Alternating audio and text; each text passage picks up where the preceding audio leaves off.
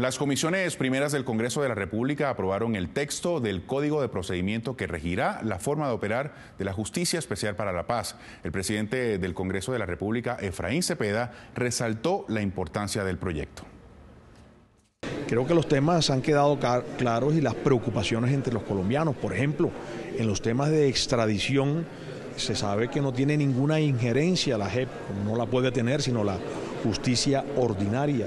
Ellos se limitarán exclusivamente a decir si los delitos fueron cometidos antes de diciembre o, con posterioridad a diciembre del 16. Si son anteriores, por supuesto se acogen a la JEP, pero si son posteriores, pues se dará la extradición o, estarán ante la justicia eh, ordinaria.